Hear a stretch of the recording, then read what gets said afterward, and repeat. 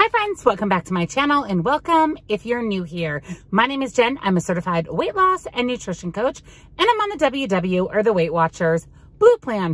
Welcome to my car. I forgot to film the intro for this week's meal prep and I'm heading out right now to show some property. And by the time I get home late tonight, I know I'm going to forget to film it again. So we're doing it in my car. So if you're excited for today's meal prep, give this video a thumbs up. And don't forget if you're new or you haven't yet subscribed, I'd love to have you here. Hit the subscribe button and ring the bell right next to it so you never miss a single video. I do meal preps every single Monday, so you definitely don't want to miss out. Check out that description box down below for my recipe website where you will find all three of today's recipes. Nutrition coaching, I do offer personalized macros and calories. Highly, highly recommend having that service done if you haven't already. And if you want to chat with me directly or want a little bit more individualized support, I offer one-on-one -on -one coaching as well. Links, discounts to all of my favorite things are down in that description box, as well as my Facebook group. We would love to have you head on over and join us there as well. So let's jump into this week's summer inspired WW meal prep.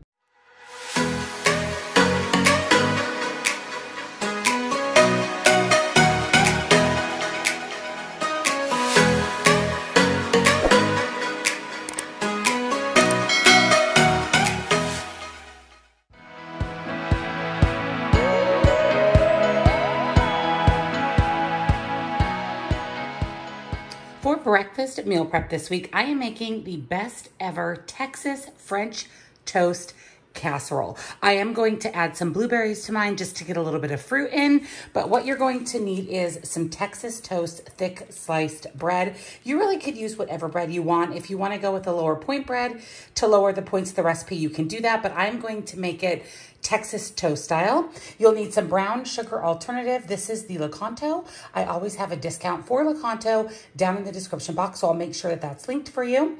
Any type of almond milk, low-fat milk, fat-free milk that you want to use. Salt, vanilla extract, almond extract, cinnamon, and again, I am going to add a little bit of blueberries, some eggs, and some light butter. So the first thing that we're going to do is take one half of a cup of melted butter and add that to a bowl. And then one cup of your brown sugar alternative. Also add that to the bowl and then whisk until combined. Into a greased 9 by 13 baking dish, we're going to add that brown sugar and butter mixture to the bottom and spread that out nice and even. In that exact same bowl, I'm going to add one half of a cup of milk, a pinch of salt, one teaspoon of almond extract, and one teaspoon of vanilla extract. And then I'm going to crack in four eggs.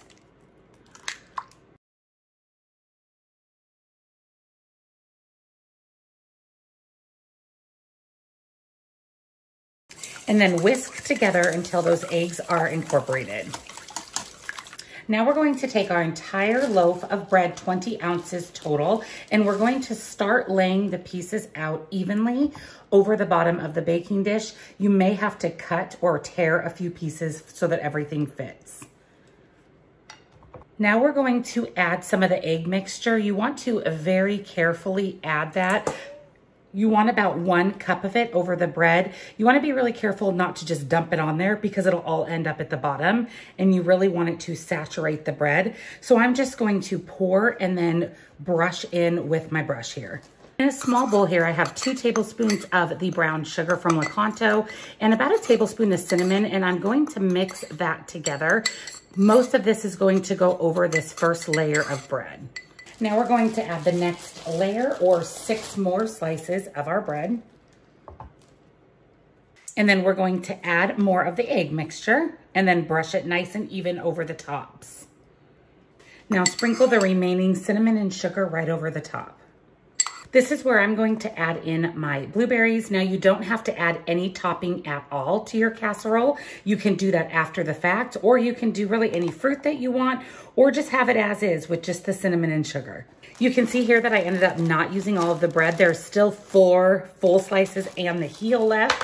So I will make sure that I calculate the points with the amount of bread that I used. But I'm going to cover this with foil. Best if you could chill this overnight to really let that egg mixture absorb into the bread. But I'm going to let it chill for several hours while I do the rest of my meal prep. Five hours later.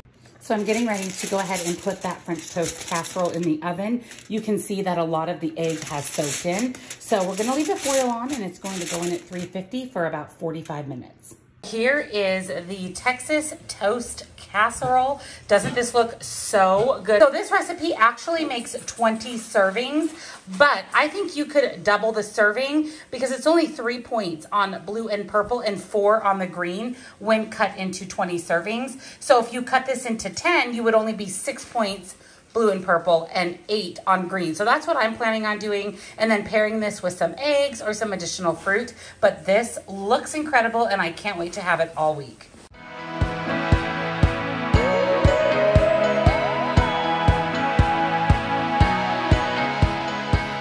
This week, I'm making deviled egg pasta salad. I'll probably have this with some zero point protein, fish or chicken, but I'm really excited for this. The weather's been really nice here, so it's giving me those summer vibes and pasta salad sounds amazing. So I don't know if you can see back there, but I have some eggs boiling in my Instant Pot. And what else you're going to need for this recipe is some pasta. So of course I'm using the Fiber Gourmet pasta. You guys know this is my all-time favorite pasta. It is only two points for two ounces dry versus five to six points of regular pasta. So it's a great way to save points but not to mention that it's only 100 calories versus 210. It has 25 grams of fiber versus 2, 17 net carbs versus 41, and it also has 7 grams of protein. So I just really like it because it tastes good. The texture is really good. A lot of you said that this is your favorite pasta as well, and it's just a great way to not only save points, but save calories and get in some extra fiber in your pasta. So we're using 8 ounces or one package of the elbows. I will link Netrition down below. That's where I buy my Fiber Gourmet.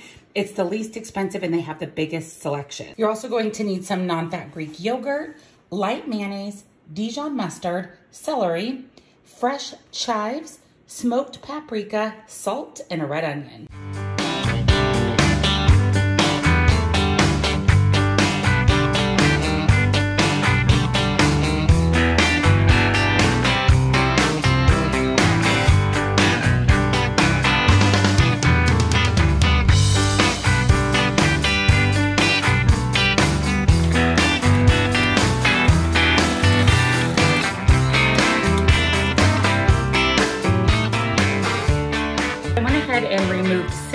Out of the ice bath. We're going to peel them.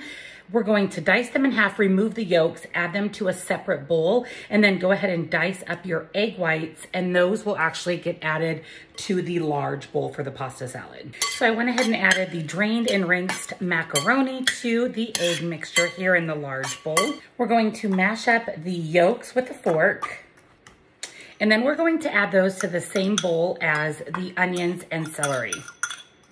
We're going to add one quarter cup of light mayonnaise, one half of a cup of non-fat Greek yogurt, and one tablespoon of Dijon mustard. And then go ahead and mix that together until everything is mixed. You wanna make sure all of the mayonnaise and Greek yogurt coats all of the egg yolks and onion and celery. Then we're going to add the egg yolk mixture into the noodles and the egg whites. And then stir that and mix very well. I'm also going to add a little bit of smoked paprika, kind of like you would on a deviled egg, some additional salt, and pepper. We're now going to just top it with those fresh chives. And there is our deviled egg pasta salad. This looks so incredibly delicious. How perfect is this for summer, barbecues, get togethers, or in my case, for a lunch meal prep? I'm pretty excited for this all week. This entire bowl makes eight servings. Each serving is only two points on the blue and purple plan and four on green just because you do have to account for the eggs, but I can't wait to have this all week. That's going to be just a great serving size for only two to four smart points.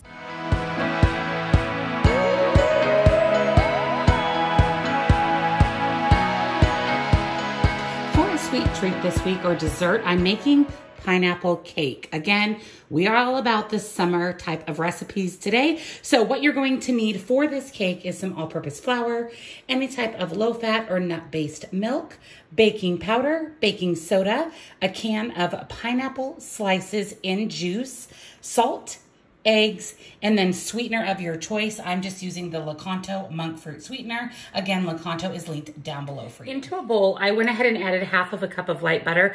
I think I forgot to mention that. There isn't a meal prep that goes by that I don't forget to mention something, but you do need half of a cup of light butter, one cup of sugar alternative, and then we're going to gently beat that together until mixed. Now we're going to crack in two eggs and then beat that in as well. Into a separate bowl, a little bit larger than the one we did for the egg mixture, we're going to add one and a half cups of flour, one teaspoon of baking powder, and one teaspoon of baking soda, and about a quarter teaspoon or a pinch of salt. Give that a good mix. You wanna make sure that everything that's a dry ingredient gets mixed together really well. Now we're going to take that egg mixture and add that in with the dry ingredients. Start mixing that together and then we're gradually going to stir in one half of a cup of whatever milk you're using. Once that is mixed together, you're going to take four of your pineapple rings and just cut them into about half of an inch pieces and add them to the batter and then gently fold those pineapple pieces into the batter. I went ahead and sprayed and lightly floured my bundt cake pan. Now it is optional, but you can go ahead and add the remaining pineapple rings to the bottom of your bundt pan.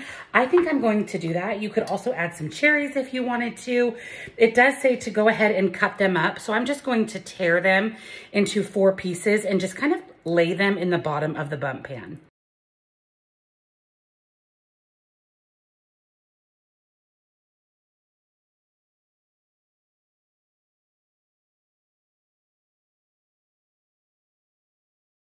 Now we're going to add in the batter right over the top of the pineapple slices and just try to even it out the best that you can in your pan. All right, my cake is going in the oven at 350 degrees for about 45 minutes or until you can insert a toothpick and it comes out clean.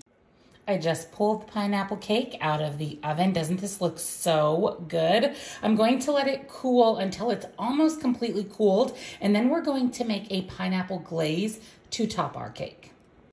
For the glaze for the pineapple cake, we're going to add one half of a cup of the juice from the can of pineapple rings and one quarter cup of sugar alternative.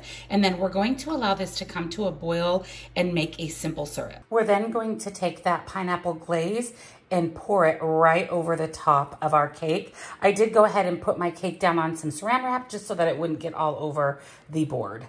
There is our pineapple cake. Doesn't this look so good? That simple syrup will just melt into the cake, so it'll be nice and moist and flavorful. So let's go over the points, and I'll put the calories here on the screen for the cake. So this entire cake makes only eight servings, and it is only four points per serving. That is incredible for a piece of summer deliciousness cake. So this recipe with all of the others from today's video will be on my website. Thank you for joining me on another weekly WW Meal Prep. I hope you are as excited as I am about these summer vibe recipes. I will tell you that I have tried all of them and they are in incredible. My husband loves the French toast casserole, loves the pasta salad. He has not tried the pineapple cake yet, but I have, and it is incredible. So again, all of today's recipes are recipe website, which is linked down in the description box, along with nutrition coaching, links and discounts to my favorite things, and of course, my Facebook group. We'd love to have you join us over there as well. Don't forget to thumbs up this video if you enjoyed it. And of course, if you're new or you're not yet subscribed, what are you waiting for? Hit that little subscribe button and click the bell next to it. That way you never never miss an upload. Happy Monday, friends, and I'll see you all in my next video. Bye.